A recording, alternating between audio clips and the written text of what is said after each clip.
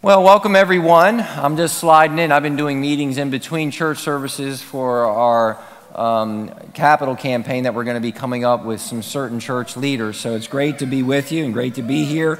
I want to share a few announcements with you.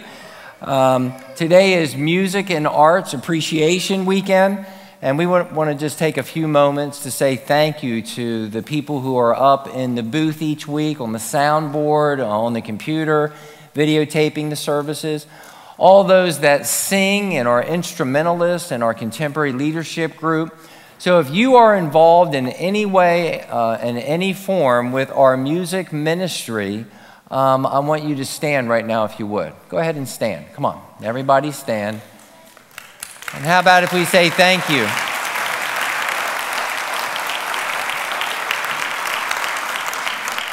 Okay, you may be seated. So many of these people give their time and their effort, uh, long hours during the week, and God uses them in just a powerful way. I'll share some things about that today in the message, and we just are so grateful for their leadership and worship.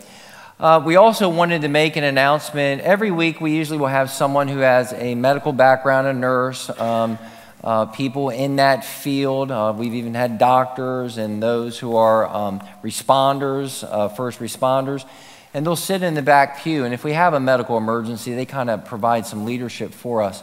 One is we don't have anyone today, so I don't know if there's anyone who serves in that ministry, if they could do that for us, but we are at this service a little short and people who are willing to do that maybe once a month and just be in service and sit in that area so we know where you are if we need assistance.